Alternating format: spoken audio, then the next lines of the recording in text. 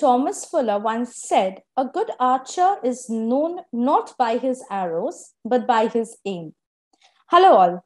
Welcome back to yet another episode on SSB Crack Talks. I am Anuradha, and in today's session, we are going to meet a brilliantly talented young woman who is not only an international athlete, a world champion, a World Cup medalist, and an Asia Cup winner in archery, but also CDS OTA 2 2021 All India rank holder second position, who got recommended in her very first SSB attempt the bullseye. She is none other than the sports celebrity, Miss Divya Dhayal. Hi, Divya, how are you? Hello, ma'am. I'm good. How are you? I'm fine as well. First of all, Divya, on behalf of SSB Crack Talks, I want to welcome you heartily here. Thank you for giving us such a precious time, uh, spending your time with us and sharing your experiences about the SSB attempt that you have gone for. Since you're also the CDS uh, OTA 2 2021 uh, AIR 2 rank holder. So it's a pleasure having uh, you know you with us today. Uh, so the thing is that you got recommended uh, for the very first attempt in your SSB. So how are you feeling after getting recommended? Uh, I'm feeling really great. Uh, I had been preparing for this uh, for the past one year, so it was a very happy moment for me. So on the result day, when you uh, you know uh, gave information about that you got selected to your friends and your family members, how did they react to your success? They were uh, very happy. Uh, I told my parents first, and they were very happy. And then I didn't have to tell my friends. Somehow they just got to know, and then I started getting messages. They were, uh, I think, they were in fact more happy than I was. Right. So uh, you are a sports celebrity. As we can see, you have won a lot of championships, including World Cup as well as the, uh, you know, the Asia Cup as well for archery. So, being a sports celebrity, why you chose defense over your sports career? Um, actually, before I got into sports, um, I've come from an army background. My father is in the army, so I was actually pretty close to the army environment. And right since my childhood, before even I got into archery, it was my dream uh, to go in the army and to wear a uniform. So that's how, even though I got into sports and I've done well, but uh, my dream has always been to be in the army. Okay, so being an army brat, how you got help from your own family or your father as you just now said your father uh, is in the army. So how he helped you to achieve your dreams? Uh, definitely there was a lot of support uh, my parents uh, my family my friends all of them uh, were told me that you know you uh, it's your dream and you're made for it so you should go for it and my father he's himself gone through the ssb process so he helped me out, he guided me, he told me what the attitude should be. So, like that, uh, definitely, I think the support is the biggest thing. Okay, who motivated or what motivated you to join defense from the very early childhood? Uh, uh I think it was the environment. My father was like uh, uh, this uh, role model figure for me. And not just him, there were so many officers around us all the time. So that uh, right from uh, my childhood, I had a dream that th- that was my motivation, just being around them, and they were an inspiration for me. Okay, so you are AIR 2 rank holder in CDS OTA 2 2021. So, how did you prepare for this written exam of CDS? Uh, for the written exam, I had started preparing. Uh, I've been preparing for about a year before I gave my exam. And I initially I started with I got a book uh, I got to know the syllabus. But I think the most important thing is to analyze the previous year questions because the syllabus of the exam is very vast. So you can't just go about studying everything. So um, eventually I zeroed down, uh, I will tell you subject wise how I did it. So for science, I did my uh, ninth and 10th standard NCERT. Now I'm a commerce student. So I had to uh, do all that history, geography, everything again. So that's why I kept science limited to 9th and 10th. I didn't go to 11th, 12th NCERTs because that's too much. And uh, normally people say that uh, you should study from 6 to 12 but that's not important um, you can simply do 9 10th NCERT if you're not a science student and that's actually it's more than enough and uh, for my um, geography, I did my 11th standard uh, NCERT, the two books, um, physical geography and Indian geography. And I also did world mapping. So world mapping I did from uh, YouTube. And even if you just put a world map and you analyze it, it's more than enough. So that's how I did my geography. For history, I did my 12th standard NCERT, ancient, medieval, and modern. And uh, for political science, Laxmikanth is uh, third thing. And uh, economics, I did micro and macroeconomics. So that's how I covered uh, my subjects. And uh, revision is key. So revising again and again is what helped me. Uh, so that's how I went about my preparation. Okay, so I think the audience who's watching us now uh, is getting a lot of information from you about which books they can refer to. Yeah. Uh, so my next question is: You are, as I said, you are AIR two. So what special preparation you did to achieve that rank? Well, you know, I think it's about uh, time management because, like I said, the syllabus is very vast, so you can't uh, do everything. Uh, for just uh, picking the books that I did and then revising it again and again is very important. And uh, surprisingly, actually, most people don't believe it, but I didn't read newspaper for my current affairs, for my CDS, uh, for the written exam at least. For SSB, I did, but for my written exam, I didn't read the newspaper because it wasted a lot of time. I would just uh, look at uh, these daily current affair videos uh, that SSB Crack puts up, and that really helped me. So I think that is the key uh, to select smart uh, studies and revision is the key. So, did you know that you will be a rank holder? Oh no, I that was very unexpected actually. I I was just hoping that I'll come in top 16 because if you think about it, the amount of people who uh, apply for it, uh, as compared to that, um, the vacancies are actually quite less. So I felt like I should just get into the merit somehow. So it was definitely very unexpected, but I'm very happy. So, whom do you want to give credit to for this AIR 2 rank? I want to give credit to everybody who helped me, my parents, uh, and uh, of course, all the you know uh, channels that I had through which I got to prepare, and of course, uh, my friends they help me out. I have some of my friends who are preparing for civil services. So they really help, help me push me and tell me that, yeah, you have to keep studying. This is how you crack it. So I think everyone played an important role. Well, that's really nice to hear. I mean, you were not alone in it. Everybody was there. So yes, together, definitely. you people achieved it. So Yes. uh, my next question is for those of uh, the defense aspirants who are going to take their CDS examination. Uh, you know, in the upcoming, not also the upcoming, yes, but Mm. in their uh, near future.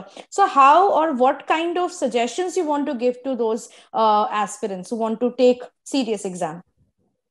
Uh, I would say uh, for the examination itself, uh, what is very important is, like I said, uh, to select your subject. Um, now, for women, especially, I would say because we have only two papers, we have GK and English. English should be your strong uh, hold because that will give you the maximum marks. And for uh, GK, uh, do a lot of revision. And although it's a lot to say, but then it's important to cover every subject, I would say. If not every subject, then at least uh, you can leave out one or two subjects, but cover most of the subjects because otherwise you won't make it to the merit. For um, men who are also giving a maths paper along with that, I would say uh, take the subject that you're good at and do it very well. And current affairs is a must because it has uh, quite a lot of weightage also. So do current affairs and do a set of subjects like if science, then do all the three subjects of science or arts. So do that and do that properly. Very valuable suggestions, Divya. Thank you for that. So I hope that those of you who are watching this, uh, serious uh, aspirants, I must say, please use these uh, tips. This will be really very helpful for you people. So now my next question to you, Divya, is about SSB. So how you prepared for your very first SSB attempt?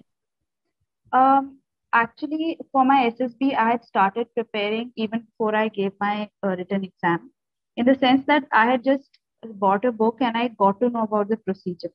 And then, um, uh, starting from the very first thing is the OIR. I bought a book for that and I started uh, solving papers and doing it with the time limit. So that's very important in OIR. And then for my psychology, I uh, took help of once you've seen some examples from a couple of books, you know what kind of story or sentence or reaction they want you to write. So after that, it's all about how much you practice, especially for that. So uh, after that, I took help of YouTube. I would uh, do practice sets every day, and that's how I build up on my psychology. And for my uh, GK, uh, for GD and lecturette and all that part, I uh, read the newspaper. So I started reading the newspaper after I cleared my exam. And then, uh, you know, you need to have an opinion for a lecturette or for a GD. So for that, you need to read articles in the newspaper. So I read newspaper and that really helped me. I saw some uh, current affair, uh, certain topics that are uh, upcoming. I saw videos for that. So that's how I prepared for my GD. And uh, of course, uh, when the obstacles and all of that comes, then I saw videos and I had an idea about how to use uh, that Fata Bali thing and, you know, solve those obstacles. So that's how I did. Okay, so many of the candidates face a bit of difficulty in personal interview because that's mm-hmm. completely face-to-face individual uh, thing. So, uh, can you remember how your personal interview were and what kind of questions you faced? So, uh, my personal interview was, uh, I would say, it was a good interaction. It was a happy interaction, uh, and it went by really quickly. I didn't. It was for about fifty minutes, and it. I didn't realize how fast the time went by uh, he asked me, I was asked questions related to current affairs, uh, you know, certain what are the upcoming events that are happening, some defense acquisitions that are happening. Um, and then I was asked why you want to join the army. But something very surprising about my interview is that he, my interviewing officer, he didn't ask me a single question about archery or my sport. So I was very surprised. I was just waiting. When is he going to ask me? And I, you know, I'll tell him but he knows you know they know better. They know that i know everything to everything about archery. So there's no point asking me about that. So he kept me engaged in things that i was not so he felt that i'm not so comfortable with like you know current affairs and um uh, he, and then of course he asked me why do you want to? Just like you did. He asked me if you are doing uh, so well in sports then why do you want to join the army? So such questions were asked there was a lot of probing uh, in the sense that uh, he would any answer I would give a lot of times he would ask me, "Oh, are you sure? Are you sure?" Uh, repeatedly. So basically to check my confidence. So of course, interview is like one of the most important things in the entire SSB process. But after giving my interview and after getting recommended, I realized it's really not about your knowledge uh, yes, you have to know, of course, if you're going the army, you will, uh, without even putting an effort, you know a few things. And I think like that's more than enough. What's more important is how you handle a question whose answer you don't know. So that uh, I was able to do confidently uh, and I was calm. So I think that played a very important role. Okay, so I was going to ask the questions that whether he or she asked you about the archery, but you said yeah, yeah. that was really yeah. surprising even for me. So uh, my next question is about that only. How your brilliant achievements like World Championship, World Cup, Asia Cup have helped you getting recommended in SSB? Uh, you know, being not just for me, I think any sports person. Uh, the fact that we uh, are continuously participating in tournaments, we are preparing so that that uh, habit of planning systematically, how to go about uh, to achieve a goal, and then setting up a challenge for yourself. I, I feel like not just in sports, even if you're stepping into that SSB, it's like you are taking up a challenge. So that's in, in itself a very big thing. And that practice of overcoming challenges, challenging yourself and performing your best. I think that habit really helps to um, perform well in everything that you do. and of course uh, the fact that uh, in sports there's so much of pressure and especially in a sport like archery it's a mental sport. You know uh, handling pressure shooting a right arrow at the right time shooting in the tent. So that uh, pressure being able to handle that pressure it, if you're in the habit of that then you're able to do that in any situation so these experiences uh, really helped me perform well in ssb as well Brilliant. So I was uh, just thinking that how you could have, you know, aim at a certain point and hit it. So you did just like that in the SSB itself, right? So it was a bullseye and you hit it at the very first attempt. Uh, so my next question is for those of the aspirants again who are preparing for their upcoming SSB interview. Uh, do you want to give them certain important tips that they should adopt so that they can also get recommended like you in their SSB? Um, I feel that uh, in uh, the SSB process, the psychology part is something that's really in your hands. As such, you really, I mean, I think it's hard to tell how many marks you're going to get in SSB. So, uh, psychology, I think, is one thing that's in your hands where you can really perform your best. So, practicing psychology every day is very important, especially word association test, because that's uh, when you're in your SSB, then you want to write the best sentence you can but the time's still the same. You still get just 10 seconds. So you don't want to miss out on anything. So practicing that every day is really important.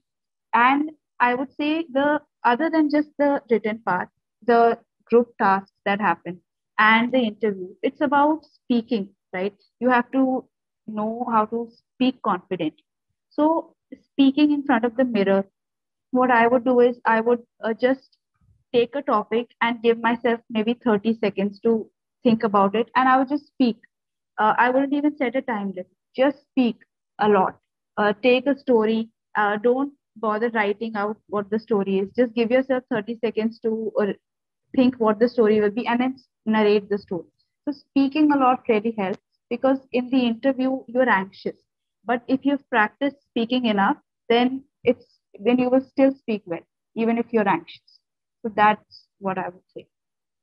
Okay, so now my question is about the screening itself because as you know, if you're screened in, you are there for the rest of the four to five days. But if you're not, you're going home. So I want to ask you, it was the very first SSB attempt. You have never gone to any SSB before this. Yes. So how you prepared for the screening part? Uh, for the screening, see, uh, firstly, firstly the OIR. Now, uh, I knew that my calculation speed is a bit slow.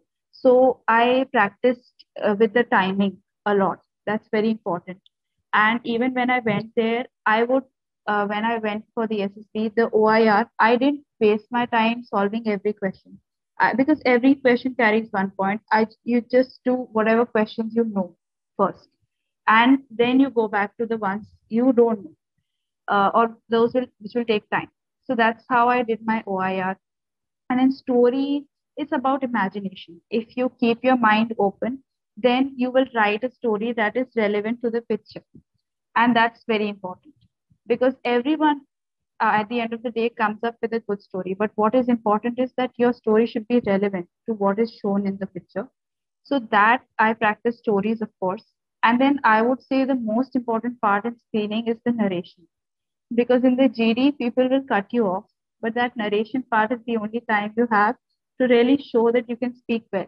So, uh, especially the first 10 seconds in that narration, you have to really speak confidently so that you, you know, grab the attention of the uh, assessors.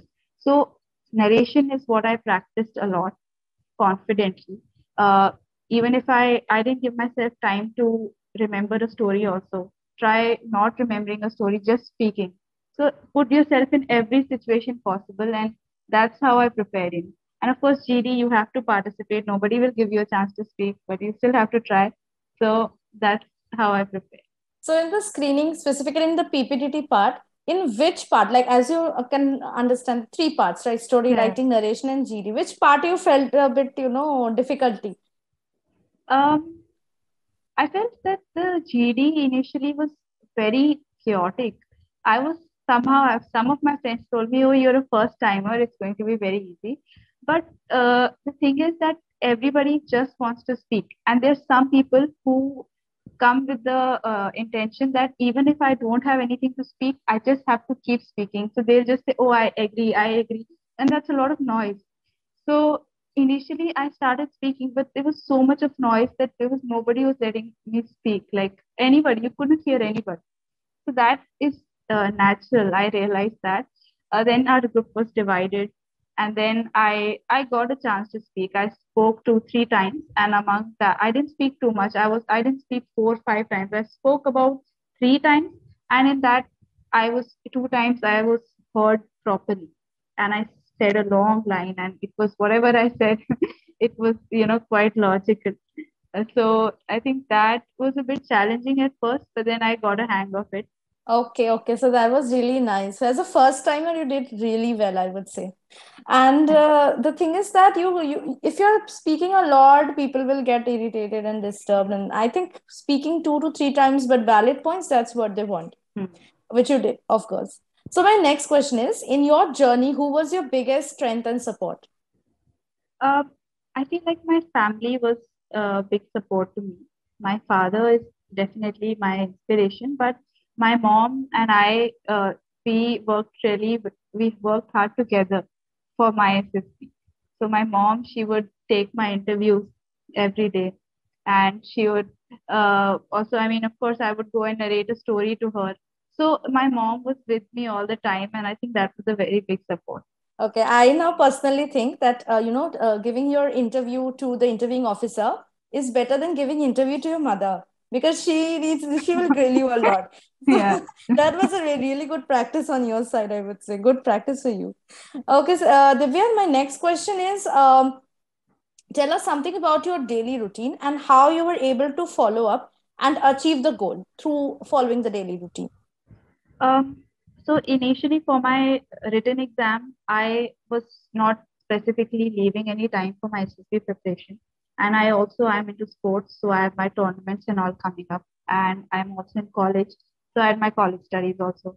So my day went about like I would start, uh, I would get up in the morning, go for a run, uh, go to the gym, then I would come back and I would go for my archery training and after that my entire morning session in the sense that up till my practice uh, and then i would come back and study my college uh, uh, lectures whatever were happening uh, after that in the evening i would go again for practice and the remaining time after my evening practice up till dinner uh, about four to five hours uh, in a day i would prepare for cds the exam so that's how i uh, prepared for CDS. That was my routine during CDS preparation.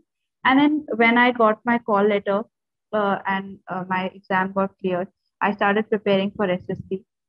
So normally I would just um, work on uh, reading my newspaper every morning. Uh, and of course, my gym never stops. So that is a thing that happens that takes away uh, two hours of my morning routine. So that, uh, and then in the evenings, I would uh, practice my psychology uh, test. I would practice OIR, and I would read some. I would see some videos, practice speaking in front of the mirror. So my entire day went about like that. Okay, so my next question is about your hobbies. What are your hobbies and how hobbies helped you in getting recommended in SSB? Like, did they help really? Uh, well, you know, I I like doing gym, so and I also like running a lot.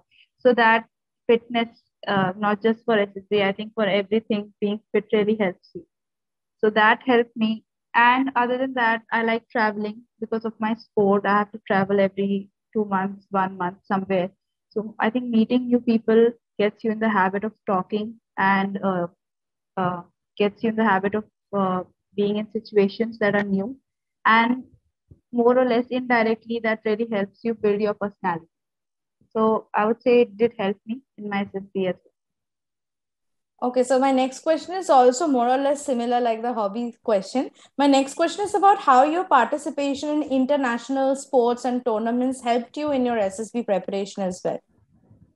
Uh, well, that's the thing, you know, the uh, habit of uh, being in a routine, being uh, participating in tournaments. Firstly, the exposure it uh, turns your personality into a very open one, and because I was participating in tournaments, uh, and when I would win a medal, then I would have interviews, and I was used to that. So in my interview also, I was not very uh, anxious because I have uh, given interviews before, so that was fine. I was okay with that. Uh, but it was my first job interview, but still the interview being uh, interviewed is feels the same. Um, but other than that, I think uh, the discipline of being in sports that really helps you build your routine when you're preparing for something like SSB. So that's how it helps. Okay, so you're basically a sports celebrity. So do you think that being a celebrity that has really helped you in your getting recommended, or is there anyone who can do it? Anyone can do it. I'm telling you. It's just it's that I have seen international players. Even in my batch, there was an international player. Uh, she was great, but uh, unfortunately, she couldn't get recommended. There were people who were simply uh, doing graduation, they got recommended. So it's not about how much of a achiever you are. It's about if you've really achieved, then it will show in your personality. And that's what matters. They look at your personality. So I don't think it's anything that you have to be a celebrity to get recommended. That's not true at all. Anybody can get recommended. Okay, so my next question is about the SSB venue. As you went for the SSB Bhopal, uh, tell us something about your experience there, and uh, tell us if the, if you have any tips for those who are going to SSB Bhopal for their SSBs. Um, so Bhopal, it's it's a very good center. It's actually it's huge, and the building in which we have our interview and our psychology, it's very it looks um, very British time, and it looks very it looks like a palace. You'll really enjoy it there uh, I really enjoyed. I I think the food was great. The accommodation was good. My friends were good, and the staff uh, that are there, they're very helpful. So I don't think there should be any problem for anybody who goes to uh, Bhopal. I think all SSB centers as such are uh, more or less the same. And uh, I think the tip I would give is have fun, enjoy the place. There's a basketball court and there's a um, tennis court. So play the sports and enjoy, have fun. Okay, so my next question is about your groups. As you just now said that I had a friends, I had a lot of friends over there. So, uh, what do you think that the, your group helped you also in your recommendation, and what kind of group bonding you had with your own group there? I think the group plays a very important part uh, in our uh, recommendation, and more than recommendation, I would say screening, because my group in screening we were really cooperative, and uh, because I was a first timer, I was paired with first timers, and for all of us, it was quite new. So the fact that we were cooperative with one another, you know, we came up with a story really quickly. We came to a conclusion very quickly. It just maybe three to four minutes into the discussion, and we had already uh, come up with a story. So a lot of people from my group got screened in. About five of us got screened in. So, and even in my, uh, after I got screened in the group that I had, uh, we were all first timers. It was new and we were very cooperative. And eventually, when we did the tasks together, we uh, there was a lot of understanding between us. People were not interrupting that much.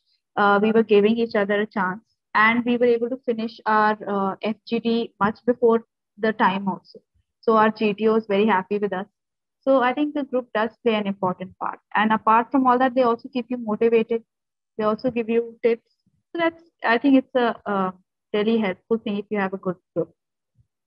I think the group bonding uh, gets to show itself more in group tasks, right? Yes, I mean, does. how much you have that bonding with your group, that's yeah. really visible.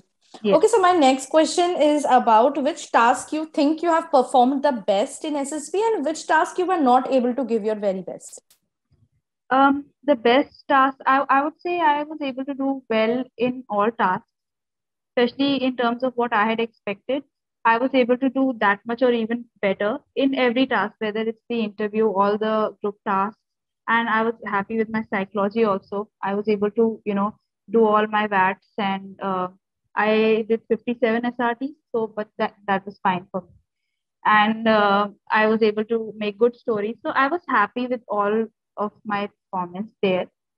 Uh, about what I was, what uh, the task that didn't uh, go so well. I mean, I think that all tasks went well, but initially when we had our PGT, because we were all first timers, and seeing it on a uh, YouTube video is different.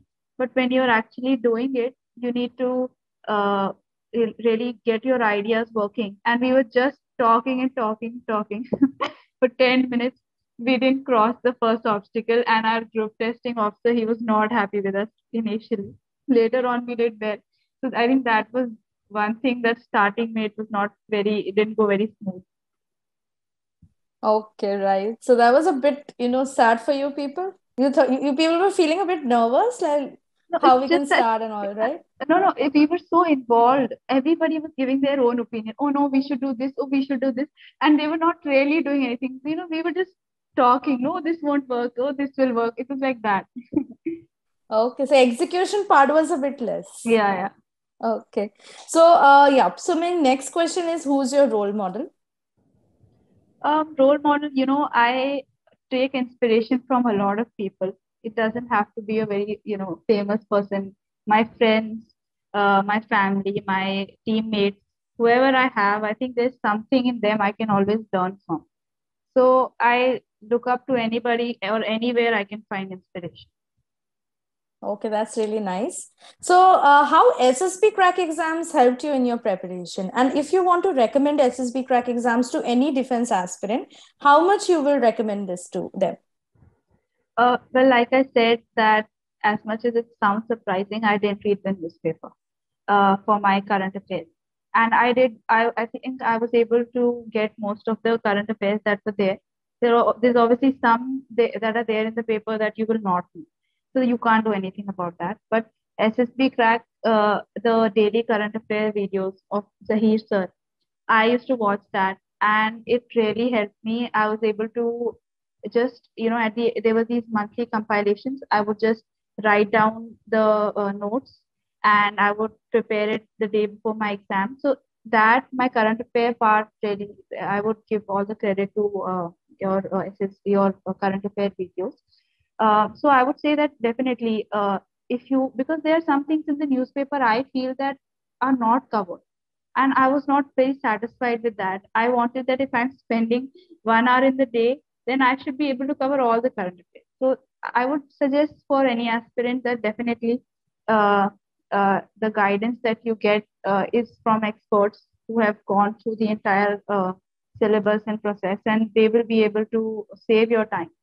So that's a good thing. Okay, so my last question is you're going to join the academy now. So, what are your plans that you want to achieve before joining the academy? Oh, well, before joining, uh, like everybody, you know, I've been suggested by everybody that you must be fit, you must uh, stay in the best of your health. So, my gym is going on and I'm uh, taking care of my fitness. But I think before I join, I just want to chill a little bit. So I'm just relaxing, doing gym every day. That's all. Okay, thank you so much, Divya, for your precious time. And as I have said, you have taken a bit of your precious time out for us and have shared such a beautiful experience that you had. And you are AIR 2 rank holder, as I said, and you are like you have getting recommended, you got recommended in your very first SSB attempt. So that's a really surprising thing. We are very happy to have you here with us and we wish you all the best for your upcoming bright future. I hope that you don that uniform that you have been seeing from the very childhood also on your father. You'll see that uniform now on yourself. So thank you a lot uh, divya for joining with us today. Thank we you. again hope a very good uh, future for your upcoming you know career. Thank you thank so you ma'am. Thank you